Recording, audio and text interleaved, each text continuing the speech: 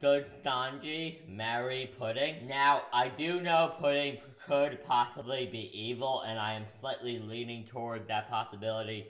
But for the sake of this video, could we just forget about that and just consider whether or not Pudding and Sanji being married would be good for One Piece and for Sanji's character. Now, I believe Sanji is a loyal guy. I personally believe if Sanji ever gets involved in a legitimate romantic relationship with a girl, he will be incredibly loyal to her. He will only look at her and he will only be interested in her. I fully believe that. Now, this would mean if they were to get married, the relationship between Sanji and Nami and Robin would have to change. The crew has an amazing dynamic. The way they interact now is perfect, and I really don't think Oda would want to mess with that too much.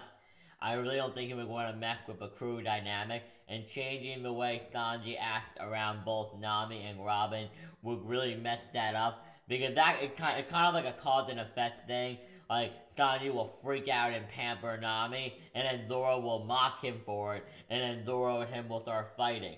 It goes in that order. So I definitely don't think that should change, and that is one negative side effect of Sanji marrying Pudding. Because, of course, as I stated earlier, his relationship with Nami and Robin would therefore have to change if he married Pudding. As I stated before, I believe Sanji would be very loyal to Pudding if they were in a relationship or if they got married. Meaning you would need to get Sanji a new gag. Because if Sanji is loyal to Pudding, he couldn't freak out over every woman he sees. And no offense, that's what we love about Sanji.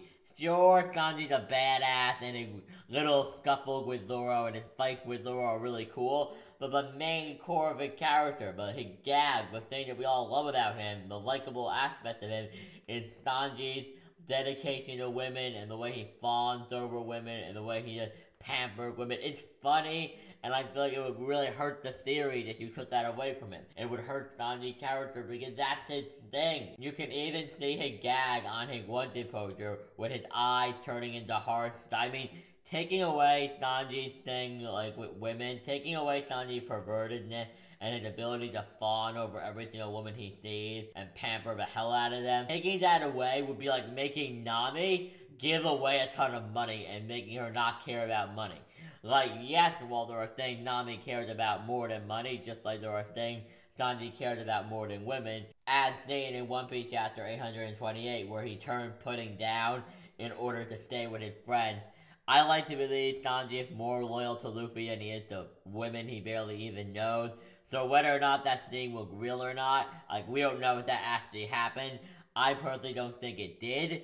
But either way, I feel like that is how Sanji would react. Also, Pudding would need to join the crew later on if she married Sanji. And I don't necessarily want her to join the crew unless she actually had the reason to. Pudding would need a reason to be loyal to Luffy. A reason to make me believe that she is genuinely interested in helping Luffy accomplish his goal. Because the way some people are wording it is like, Sanji and Pudding will get married, so Pudding will join the crew. And I'm like, okay, Sanji and Pudding get married, Pudding joins the crew. Does that mean she will die for Luffy's dream? Does that mean she's loyal to Luffy and be under Straw Hat? I do not want a crew member who isn't loyal to Luffy. I don't think that's a good idea, because as Zoro dead in Water 7, a crew that doesn't respect their captain will fall apart. And if Pudding joined the crew because she married Sanji, she would probably be the least loyal out of everybody and probably not have a reason to be as loyal as, let's say, Zoro or Nami. Now, don't get me wrong. I want Sanji to be happy. I want Sanji to get a girl. I just don't think now is the right time. I've always been a big supporter of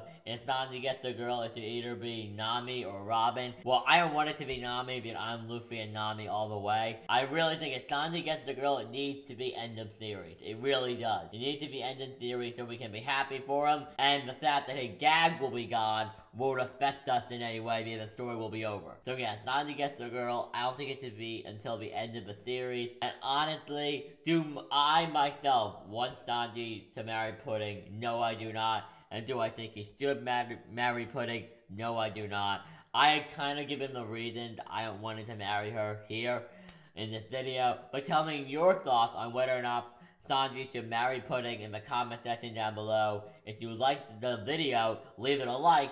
And remember guys, above all else, to have a great day and subscribe for more videos. This is One Piece Nation signing out.